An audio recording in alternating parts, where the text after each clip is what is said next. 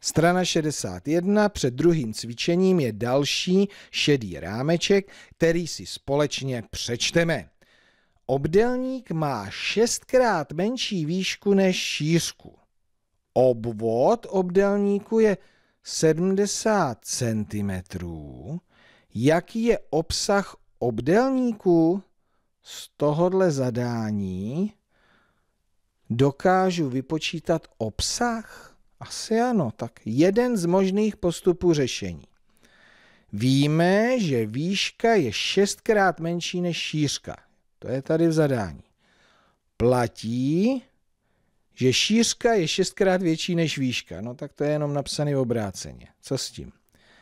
Do delší strany šířky se nám vejde kratší strana výška šestkrát. Ano, to plyne z toho prvního řádku.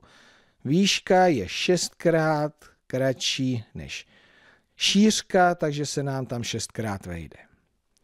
Do obvodu obdelníků by se nám, vešl, by se nám výška vešla 14krát.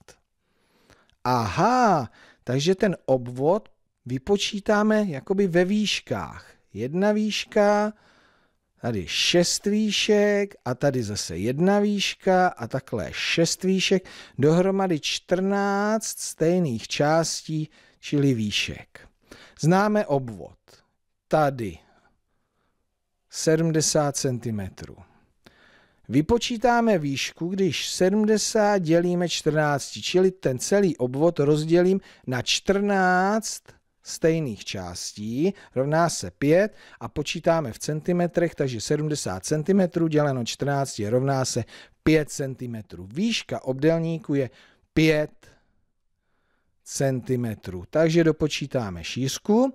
Šířka je 6 krát větší, takže 6 krát 5 cm rovná se 30 cm. Šířka obdelníku je 30 cm. No a teď už ten obsah je jednoduchý, S rovná se A krát B, je to obdelník, 30 cm krát 5 cm rovná se 150 cm čtverečných. Takže tohle bych nikdy nevěřil, že se dá z takovéhleho zadání vypočítat obsah. Pamatujte si ten postup, třeba se vám to bude v následujících cvičeních hodit.